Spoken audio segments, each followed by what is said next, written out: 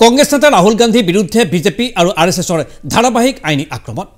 আইনী আক্ৰমণেৰে ৰাহুল গান্ধীক ধৰাশায়ী কৰাৰ প্ৰয়াস এতিয়া বিজেপি আৰু আৰ এছ এছৰ কংগ্ৰেছ নেতাজনক ব্যতিব্যস্ত কৰাৰ লক্ষ্যৰে তেওঁৰ ওপৰত এতিয়া জাপি দিয়া হৈছে এটাৰ পাছত আনটো গোচৰ। গুজৰাটৰ চুৰাটৰ আদালতে তেইছ মাৰ্চত ৰাহুল গান্ধীক বিজেপি নেতাই তৰা মোদী উপাধি সন্দৰ্ভত মানহানি গোচৰত দুবছৰ কাৰাদণ্ডৰ শাস্তি প্ৰদান কৰিছিল। জামিন লাভ কৰিছিল কংগ্ৰেছৰ নেতাগৰাকীয়ে। ইয়াৰ পাছতেই দুবছৰ কাৰাবাসৰ শাস্তি পাই সাংসদ পদ হেৰুৱাব লগা হৈছিল ৰাহুল গান্ধীয়ে। আনহাতে এই গোচৰতেই ক্ষান্ত থকা নাই বিজেপি চুৰাটৰ পাছত এইবাৰ হৰিদ্বাৰৰ আদালতত ৰাহুল গান্ধীৰ বিৰুদ্ধে ৰুজু হৈছে আৰ এছ এছৰ মানহানি গোচৰ। চলিত বছৰৰ জানুৱাৰীত ৰাহুল গান্ধীয়ে ভাৰত জোৰো যাত্ৰাৰ সময়ছোৱাত আৰ এছ এছক একবিংশ শতিকাৰ কৌৰৱ বুলি আখ্যা দিছিল। ৰাহুলে উল্লেখ কৰিছিল আৰ এছ এছৰ সদস্যসকলে খাকী হাফ পেণ্ট পিন্ধে আৰু হাতত লাঠি লয়। আৰ এছ এছৰ সদস্যসকলে গঠন কৰে শাখা।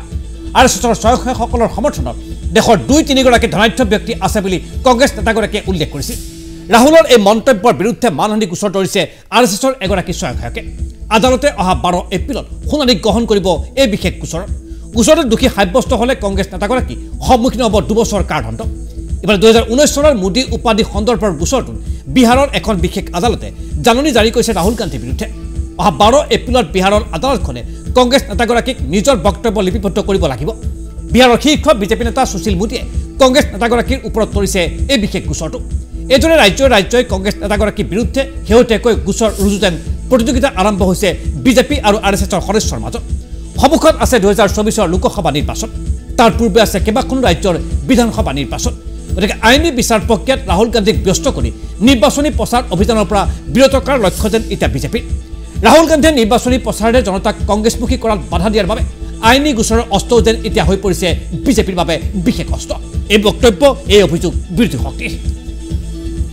আহক চাওঁ আৰ এছ এছ সন্দৰ্ভত ৰাহুল গান্ধীয়ে প্ৰকৃততে কি ক'ব খুজিছিল যিটো বক্তব্যৰ বাবে শেহতীয়াকৈ ৰাহুল গান্ধী পুনৰ সোমাই পৰিছে আইনী আওতাৰ মাজত আহক চাওঁ ৰাহুলৰ সেই বিশেষ মন্তব্য कौरव के हाथ में कौरवों के हाथ में 21वीं सदी के कौरव बता देता हूं 21वीं सुनो सुनो 21वीं सदी के कौरव हाफ पैंट खाकी हाफ पैंट पहनते हैं हाथ में लाठी लिए होते हैं और शाखा लगाते हैं। उनके साइड में, उनकी तरफ़ हिंदुस्तान के दो तीन सबसे अमीर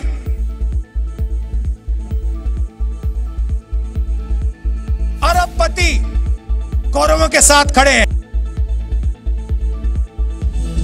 সেই আপোনালোকে টেলিভিশ্যনৰ পৰা দেখিবলৈ পালে আৰ এছ এছক কৌৰৱ আখ্যা দিয়াৰ পাছত পুনৰ আইনী মাপকাষত সোমাই পৰিছে ৰাহুল গান্ধী। এইবাৰ এগৰাকী আৰ এছ এছৰ নেতাই গোচৰ ৰুজু কৰিছে এগৰাকী ৰাহুল গান্ধীৰ ওপৰত। দেখা যাওক পৰৱৰ্তী পৰ্যায়ত এই গোচৰ কোন দিশে গতি কৰে।